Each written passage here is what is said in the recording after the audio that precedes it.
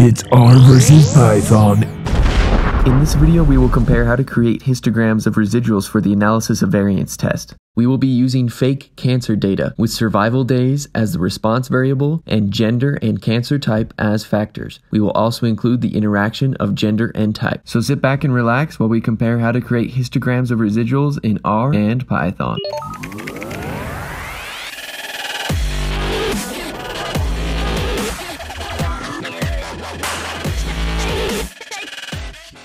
Okay, so in order to do this, in Python we're going to have to import a few things. So this is for Python only. So first, let's import pandas as PD. And we'll import statsmodels.formula.api as SMF, and we'll import statsmodels.api as SM.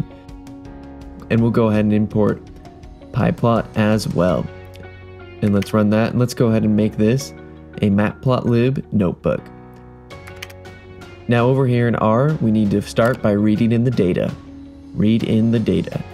So we'll do data is read.table and we'll start typing the file and tab over and we'll do header equals true.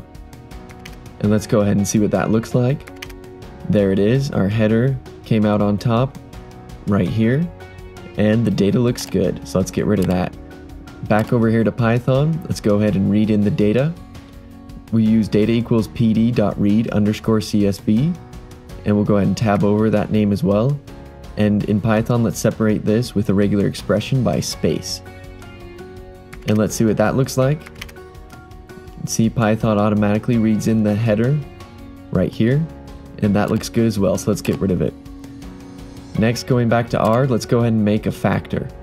So to make sure that gender is indeed categorical, we're going to turn it into a factor by saying factor of data gender.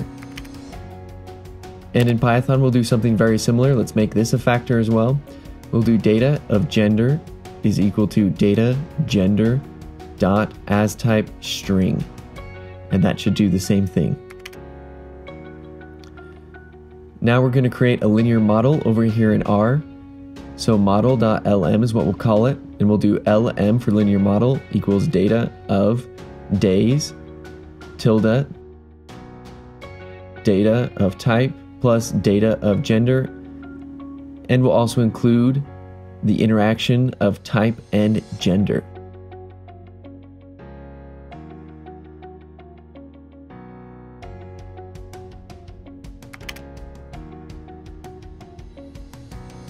Excellent. Now over here in Python, we'll do the same thing. Let's create our linear model.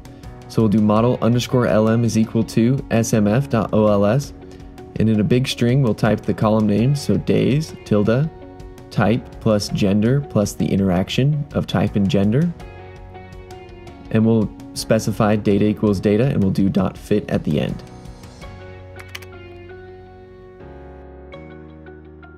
All right, now back to R, let's go ahead and make the histogram of the residuals. So we'll do hist of residuals of model.lm. And there it is, it gives us a title and everything, and it defaults to this black and white. Now going back to Python, we'll make a histogram of the residuals here. So we'll do plt.hist of model underscore lm dot resid for residuals. And I'm going to go ahead and put an edge color so you can see the distinct bins better. And plt.show. And there it is in Python.